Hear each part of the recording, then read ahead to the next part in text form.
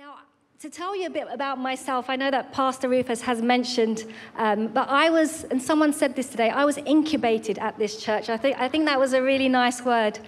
So, my husband and I moved to um, Hyderabad in, I think it was 2012, and we came to Hope UC. It was Pearl City Church then. We were very fresh and didn't know anyone. And Pastor Mayuri immediately just embraced me and she made sure I was connected to people. I felt so welcome. We had to come back. We had to come back. And, you know, I was really lonely and I needed friends because we'd just moved from my husband's hometown.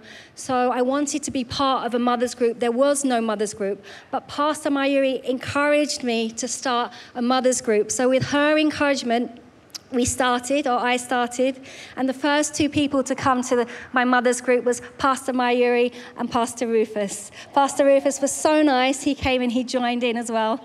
Um, but I can honestly say that it was a time of incubation, those five years there, a time of really stepping out into who God had called me to be, figuring out what He had placed inside of me.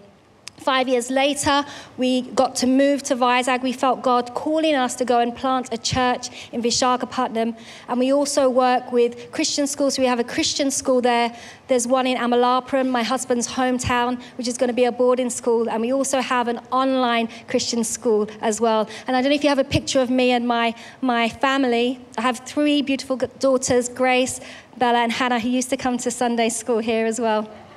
So I'm so blessed to be back with you. You know, when um, Pastor Mayu asked me to share today, I was really praying about what God had on his heart for everyone here. And he gave me a topic, and I was really excited about this topic. And I tell you what this topic is. God told me today to speak about the topic of repentance. Now, don't all clap at once. I know, I know that might sound not so exciting. You know, if you were there for the first service at 10 o'clock, we had Leela Chandy preaching about grace. Maybe you should have gone to that service instead of this one. But God has put on my heart to speak about repentance, and I'm actually excited about it. God has given me a revelation, and I really want to share this with you. Now, I'm sure when we think of the word repentance, we think about a message that's going to make you all feel very, very bad about yourselves. And I'm not here today to do that. We have so many kind of connotations that we have when we connect to the word repentance. If I said I was here to talk about the good news, I'm sure you'd all be so excited because the good news is good, right? It's really good. That Jesus loves us so much that he came down from the, his throne and he came to take away all our sin, our shame, our condemnation, and he exchanged it with his righteousness. He gave us his righteousness. And now we get to know that we are part of the kingdom of God. We can be part of the kingdom of God in relationship with God forever. And that is good news. That is such good news. But did you know that before we can embrace the good news and understand it and accept it, we first have to consider this idea of repentance. And Jesus himself spoke about this. In Mark 1:15, it says that Jesus was preaching from village to village, and he says this, the time has come, he said, the kingdom of God has come near. Repent and believe the good news. He didn't just say believe the good news, he said first repent and then believe the good news. And the other apostles preached just the same. In Peter, Acts 2 38, he's given the same message. He says, repent and be baptized. First, we repent. And Paul preached the same message in Acts 26 20. Paul says, I preach that they should repent and turn to God. And so, before we can embrace the good news, we have to first encounter this idea of repentance. And why is that? Why is repentance so important for us to be able to then grasp the good news? And I believe that John the Baptist showed us why in his coming. In Mark 1, verse 4, it says, And so John the Baptist appeared in the wilderness, preaching a baptism of repentance for the forgiveness of sins. Now, I want you to imagine what it might have been like at that time if we, you know, if you are a husband or a wife and you decided you're going to go down to see and listen to John's message, and John is saying, You guys have a sin problem and you need to turn away from your sin. You guys have a sin problem. And he would say, Come into the river and let that be a symbol of God washing away your sins, because that's what he wants to do. And so the person would listen to the message, be convicted, Yes, I am a sinner, I have lots of sins. And they would go into the river and they would get clean. And they would come out and they'd feel really good about themselves. And they'd have a towel around them because they're wet. And they'd go to their husband or their wife. And then they would say, Where's my clothes? I left them here. And then the husband and wife would say, Look, why do I always have to take care of your clothes? It's not, it's not my business. You can never keep your things safe. And then the other one would say, But you never help me. You're never there to support me. And then I think the husband and wife would think, Do you know what? I think I need to get back into that river. I think I need to get back into that river again because they would have had an argument. And I wonder how people felt after they went into that river and they, and they were cleansed and they were washed clean, that they came out, but then they realized actually this was an ongoing problem that just couldn't be solved. It just couldn't be solved. So, what does the word repentance mean? What does it mean? The Greek word for repentance is metanoia. Metanoia. And it means to change one's mind, to change one's mind. And I'm not talking about changing your mind when you go to like Baskin Robbins and you and they ask you, you know, what flavor ice cream do you want? And you say mint choc chip, and they're about to put it on. You say, no, no, actually, I think I'll have, I think I'll have the lemon flavor. I don't mean that kind of change in your mind. I mean the changing of mind when we are one place and we completely turn around, 180 degree turn to somewhere else. We really change what we believed or thought. So we have to understand that repentance is not a feeling, it's not making you feel bad, I feel bad. And it's not a ritual, something that we have to do or an action. It's just a changing of our minds. It's just a changing of our minds. And you know, for too long, the devil has lied to us about what this idea of repentance is that sometimes we actually shy away from it and we don't really want to deal with it. It makes us feel uncomfortable. But I believe that God wants to give us a revelation of how beautiful this idea of repentance is today. And we're going to do that by looking at three understandings about sin, three understandings about sin, and four truths about repentance. So, three understandings about sin. You know, in the Bible, in the Bible, there are three words that are used for the word sin. The first is sin, okay? The first is sin. And the Hebrew word for sin is kata. The Hebrew word for sin is kata. And do you know that kata means to fail or to miss the goal? To fail or to miss the goal. And what goal is it that we miss? What goal is it that we fail to achieve? Well, Romans 3:23 says, "For all have sinned and fall short of the glory of God." It's the goal of the glory of God. You know, Jesus, God created us to be in his image. And He created us to love Him with all of our heart, with all of our mind, with all of our soul, with all of our strength. And He created us to love our neighbor, not just as ourselves, but as Jesus has loved us. And that's His standard for us. And when we miss that mark, when we fail to hit that goal, that's called sin. And God wants us to change our minds about this. He wants us to change our minds about this.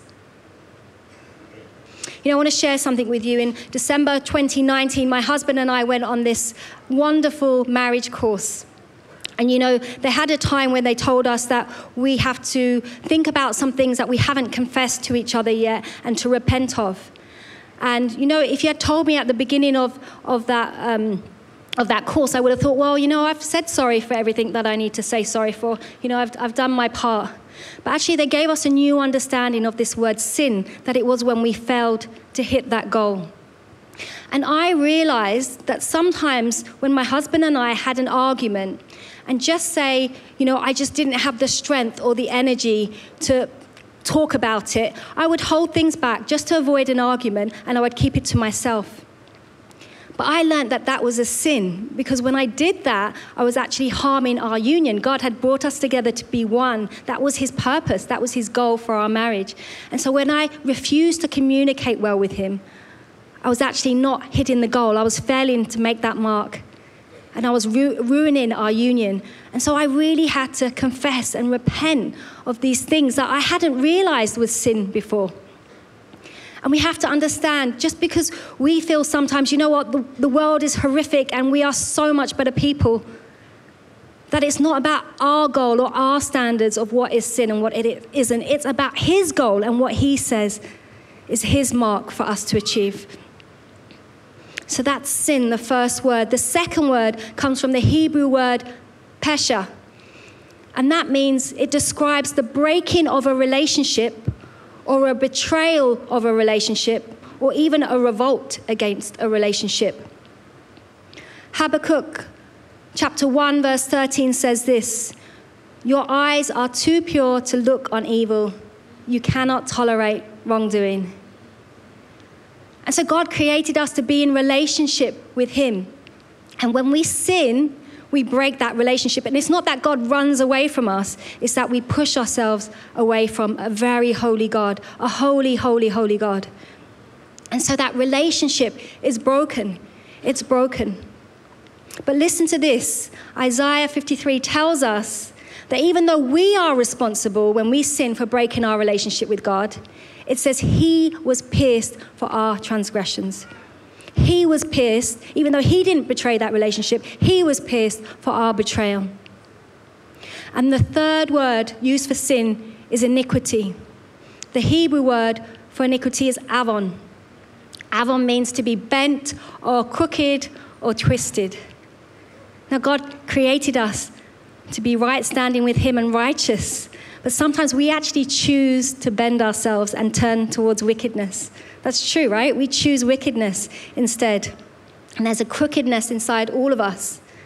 But listen to this Isaiah 53, verse 5 also says that Jesus was crushed for our iniquities. So, though we chose to be wicked, or though we choose to be wicked, and we should have been crushed by God because He didn't create us to be wicked, he took the crushing and he was crushed because we chose to be wicked. So, sin, transgression, iniquity, we should have been crushed, we should have been pierced. But in this whole process of being transformed into the likeness of Jesus and having our sins washed and cleansed away from us, Jesus did all of the work. He did all of the work. And He says, Your role in this it's just to change your mind. It's just to change your mind. And so today I want to share four truths about this word called repentance. Four truths. The first is that repentance is not a punishment. It's not a punishment, it's actually a gift and it's a privilege. It's a gift and a privilege. You know, what do you think of when I say the word repentance? Do you think about shame and guilt? Do you feel that maybe you want to beat yourself up? Do you feel that maybe you need to beg God for forgiveness? Maybe repentance brings you this idea of coming to church once a week, something we do before we receive communion. Maybe we imagine ourselves prostrating ourselves on the floor. You know, sometimes we see this as a ritualistic thing that we have to do. Or maybe this idea of repentance actually is something we struggle with because sometimes we feel hopeless, we feel despairing that we want to change, but we're not able to. But we're not able to. Or maybe we just think it's as simple as just confessing our sins and believing God will take them away and just being so glad we are rid of them. But we know that the process of repentance is not about a feeling or an act, it's about a changing of our mind. And this was Jesus' desire for us that we would change our minds about how we live and understand what He has given us and how He desires us to live. Now, if you would just call for some bottles to come up on stage, I want to show you this example that, again, my husband and I saw when we were on our marriage conference, and it was such, it's such a powerful example. Um, it was to us. You know, why is it? Why is it, thank you, that just this simple act of changing our minds can be so powerful to transform us. Thank you, great. And I want to give you this example. It's okay, no problem, no problem. I want to give you this example that we learned in our, in our marriage conference. Okay, I want you to imagine that this is our minds and our beliefs. Okay, this is our minds and our beliefs, what we think and what we believe. And this is our feelings, how we act. sorry, this is our feelings, how we feel, and this is our actions, how we act. Okay? So, why is that that God is, desires to change how we live, but actually He talks about our minds and what we believe? Well, the truth is, what we believe then affects how we feel, which then affects how we act. Okay? So, for example, if I feel that my husband doesn't love me enough, okay, if I believe that, if that's a belief that I have in my head, then how I feel would be I wouldn't feel very good about myself, I'd feel rejected, and I might even be a little bit bitter towards my husband. And so when he comes home from work and I believe that he doesn't really love me enough, the way that I will act towards him is maybe I'll seek a lot of attention, or maybe when he ignores me and he's busy reading his newspaper, I will start to get very angry and thump things around in the house. So, what I believe affects what I feel, which eventually act, affects how I act. And the Bible actually agrees with this. It agrees with this in Romans 12 2. It says, Do not conform to the pattern of this world, but be transformed by the renewing of your mind, by the renewing of your mind, then you will be able to test and approve what God's will is His good, pleasing, and perfect will. Know, the, the word tells us, and that's why we are to be feeding on the word of God, applying the word of God to our minds daily because it shapes what we believe and what we think, which then shapes how we act, which then shapes, sorry, how we feel and then shapes how we act. And that is the power of repentance. When we change our minds, we are actually being transformed. And isn't it so wonderful that God did all the hard work on the cross and He said, Your job is just to change your mind and decide that you do not want to sin again. He came in, He washed us clean, gave us a robe of righteousness, took away the punishment, and said, Your job is just to repent. And so you have to understand repentance is not a punishment, it's a gift, it's a privilege. God did the hard part. And it's not that we have got to repent, it's that we get to repent. It's not that we have got to repent, it is that we get to repent. So that's the first truth that I believe that God wants us to understand about repentance today is that it is a gift and a privilege and not a punishment. And the second truth that I believe God wants us to embrace today is that God is not angry with you when you sin. He is not angry with you when you sin. How many times, though, do we think that God is angry with us? How many times are we trying to hide away from God because we think that we're just not worthy enough to come before Him? And you know, when we believe that, when we believe that, instead of going to Him and trying to repent and change our mind and going to Him and saying, Lord, I need your help. What we do instead is we run away from Him and we don't address our sin because we just feel too bad. We think He's going to be angry with us. And so that sin doesn't get addressed. It doesn't get addressed. You know, I read something on Instagram the other day. Thank God for Instagram. It says this it says, The devil says, You messed up. Your father is going to kill you. The gospel says you messed up. You need your father. You need your father. And I want to share with you today the story of the Samaritan woman at the well. And I don't know why this story keeps coming up. It was, we, we heard it twice yesterday at the Shine Conference. I, I think God has this on his heart. But I'm going to be reading from John 4, verses 4 to 19, and then we're going to go on to verses 25 to 26. And it says this Now he, Jesus, had to go through Samaria. So he came to a town in Samaria called Sychar, near the plot of ground Jacob had given to his son Joseph. Jacob's well was there, and Jesus, tired as he was from the journey, sat down by the well. It was about noon. When a Samaritan woman came to draw water, Jesus said to her, Will you give me a drink? His disciples had gone into the town to buy food. The Samaritan woman said to him, You are a Jew, and I am a Samaritan woman. How can you ask me for a drink? For Jews do not associate with Samaritans. Jesus answered her, If you knew the gift of God and who it is that asks you for a drink, you would have asked him, and he would have given you living water. Sir, the woman said, You have nothing to draw with, and the well is deep. Where can you get this living water? Are you greater than our father Jacob, who gave us the well and drank from it himself, as also did his sons and his livestock?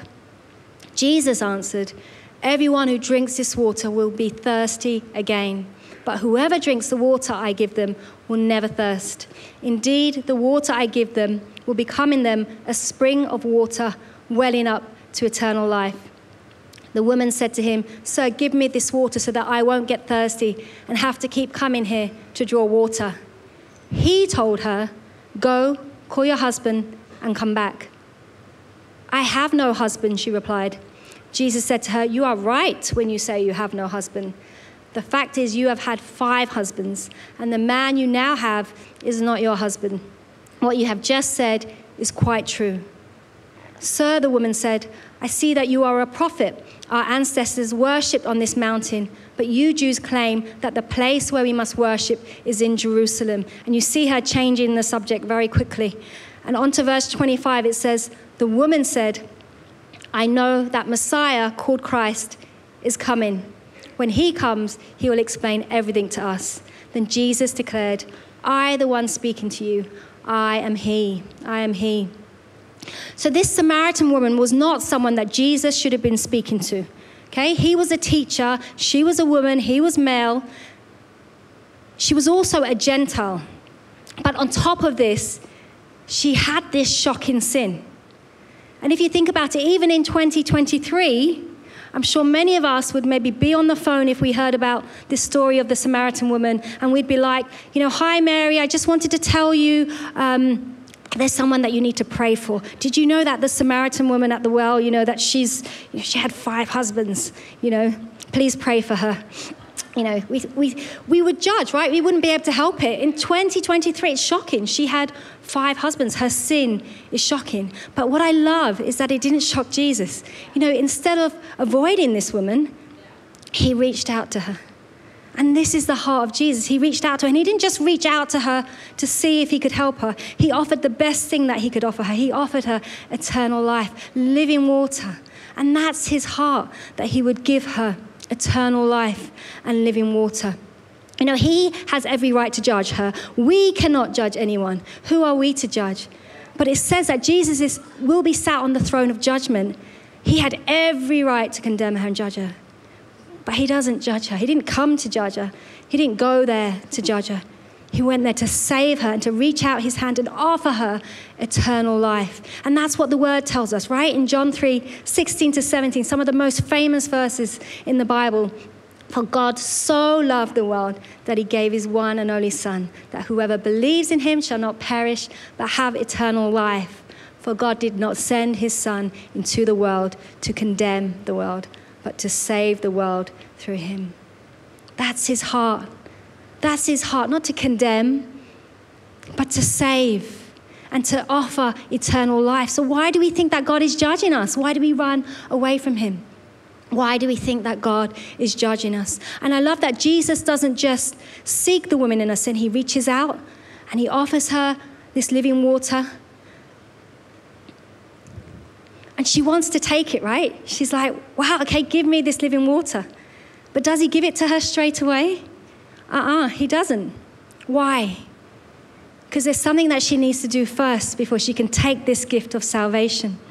There's something that she needs to do first. It says that he tells her, Where is your husband?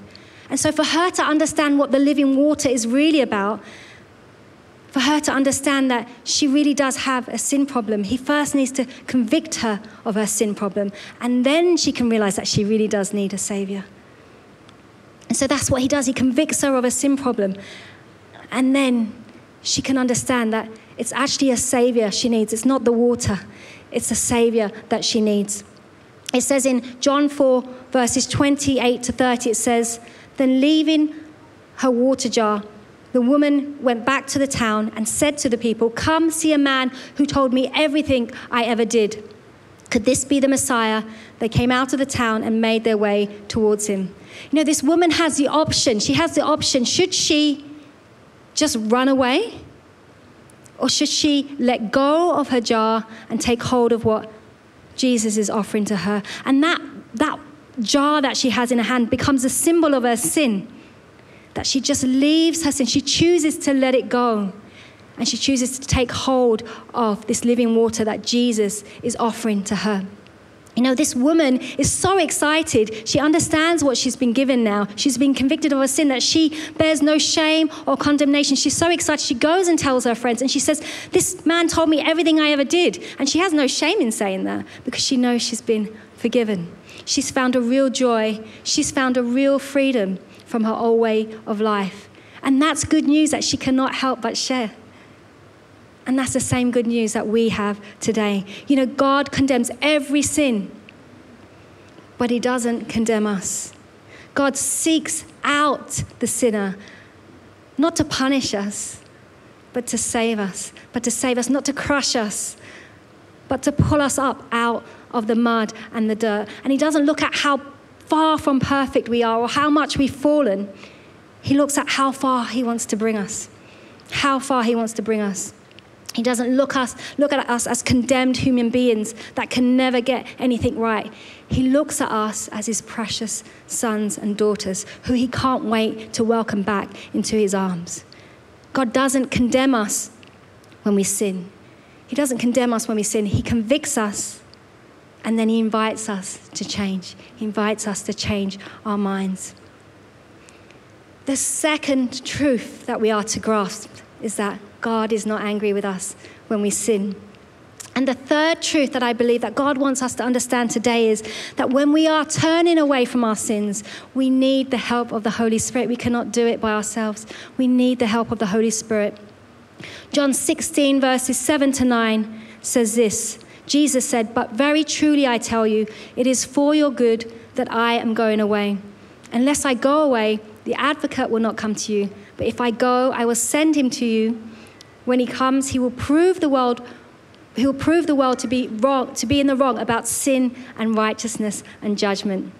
And so, this Holy Spirit is our friend and our helper and our advocate, someone who goes to court and fights on behalf of us. He's our encourager, He's our helper. He's been given to us as a gift. And He's also been given to us to convict us. And it's not just of our sin that He confronts us with, he actually convicts us of the righteousness that we've been given. It's not just our sin that He convicts us of, He convicts us of the righteousness that's already been given to us in Christ Jesus. And we need His help. In John 16, verses 12 to 13, it says, Jesus says, I have much more to say to you, more than you can now bear. But when He, the Spirit of truth, comes, He will guide you into all truth. And the Holy Spirit is there to remind us what the Word of God says that we are beloved, that He's already defeated sin on the cross, that He's taken away our sin, our shame, and our punishment. We are just to believe and to grasp hold of the gifts that God has given us. And He gives us the Holy Spirit to remind us. And often we have the enemy whispering in our ear, God's angry at you, but the Holy Spirit tells us the truth. And so we need the Holy Spirit to remind us and to be able to help us to say to the enemy, You are a liar. That is not true. I don't have to run away from God. I know what He's given me. I want to share this time with you when I felt God give me a very strong revelation about this idea of how the Holy Spirit helps us. And it was a time I turned 40, and my friend in London, I was going to see her. My friend in London had arranged a session of go karting. And I'd never done go karting before. So I was really excited. I went there. You know, I haven't driven in a long, long time. I have my license, but I'm not the best driver. But I thought it would be just such a fun time. We'd be riding around a track, we'd be waving at each other, you know, going up and down. I thought this is going to be so much fun. And when we got there, it was kind of, you know, in the waves of the pandemic, so there was not that many people. I remember going into the dressing room and they gave me this helmet and they gave me this suit, and I was thinking, why do I need these things? And we were getting changed. There was two other women in that changing room, and I remember thinking, this is going to be great. There's no one on the track. You know, we're going to have so much fun driving around, waving at each other. And then someone came into the room and said, Come, hurry up, come out, come out. You've got your induction session. And I said, Induction? What's that? And so we were invited to this room where they had this video to induct us in, into how we are to drive. But when I went into that room, there was about 15 other men in that room. And they all had their helmets and their suits. And the induction video was talking about racing and about being safe and about coming first and second and third. I thought, oh my God, I'm in the middle of this race with all these men. I thought I'd be waving at my friends, and now I'm in this race. What am I going to do? And I was so scared because I'm such a bad driver. And so we get into our go karts. I almost chickened out. I thought, no, I'm going to try this. And as we're going around, I just remember feeling that the wheel was so stiff. And we were coming around a corner, and I was so scared. You know, by then people had already lapped around me, but they were coming up behind me again. And I thought, oh my gosh, they're going to crash into me. And there was this tight bend that I had to get around. There was a tight bend that I had to turn around. And so I decided to try with all my might to turn that wheel to go around the bend. And you'll never guess what would happen. I just couldn't do it. I, I wasn't strong enough. I couldn't turn that wheel fast enough. And I got stuck. I got stuck. And it was so embarrassing because this woman had to come with a flag and she waved everyone to stop. And the whole race stopped, and everyone was looking at me, and they had to pull me away from the wheels that I had run into. And then we were back on again. But I was just so embarrassed. Uh, we were supposed to go around the track, I think, a few times, and I just chickened out after that. But you know, God really spoke to me during that time. He spoke to me and He said, You know, Jess, this is how the Holy Spirit works. You know, because I was thinking to myself, I wish I had power steering. Why don't they put power steering on these things? You know, why do we have to try with all our might to get around those corners? And I felt God say to me, My Holy Spirit is like power steering when you are trying to change your mind and get around those bends. And, that's how the Holy Spirit works. We cannot change our mind or turn around just by ourselves. We need the help, we need the power of the Holy Spirit, and He comes in to help us. And He comes in to help us to turn around and change our minds. We are just to ask Him and invite Him in and say, I cannot do this by myself. Change me, Lord. Help me, Father. Show me, Holy Spirit, how to get around this corner. And the final truth that I believe that God wants us to embrace today is that we can enjoy the gift of repentance every single day. It's not just once we make that decision for Jesus. We can enjoy this gift, this privilege of being able to repent every single day. Luke 17, verses 3 to 4 says, So watch yourselves. If your brother or sister sins against you, rebuke them.